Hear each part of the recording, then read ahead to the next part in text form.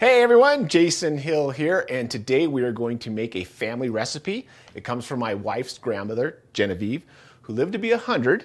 And another little fun fact way back in the 40s, she worked at the famous Mission Inn in downtown Riverside, and that's where my first job was out of culinary school as a line cook. All right, so let's get started on this yummy, yummy cheese bread recipe. And don't forget, if you're liking these videos, like, share, subscribe, hit that notification bell. That way you'll be notified every time we make a new video. Okay, we're gonna start by taking a six ounce loaf of French bread and we're gonna just go down and cut it in half. Keeping your hand up away from the blade of the bread knife. I'm gonna grab a little mixing bowl and we're gonna add chopped black olive. It's about three ounces followed by three stalks of diced green onion,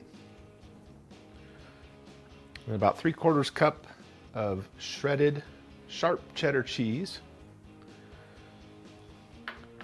And then now we got to fold in a quarter cup of mayo. And then a teaspoon of Dijon mustard. And now we're just gonna gently fold this all together. And this is gonna be our spread. Olive cheese spread.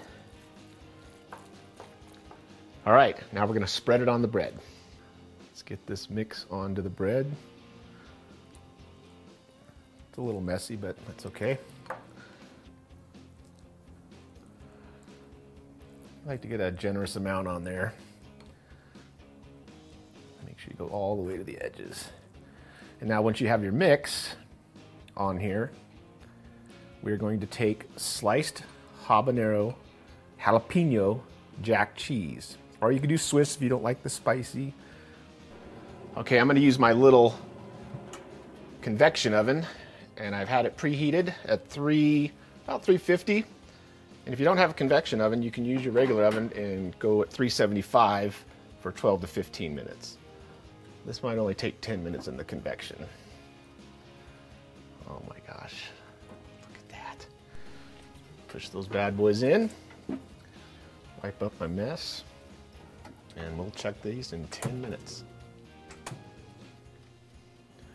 All right, after 10 minutes, they are ready. Oh, look at these little masterpieces. Okay, let them sit for a couple minutes, and then I just like to cut them at the bias into little oh, about one inch thick pieces. Oh man, it's time to take a bite. And remember, like I said, if you're liking these videos, like, share, subscribe, and hit that notification bell. Let's give this a bite.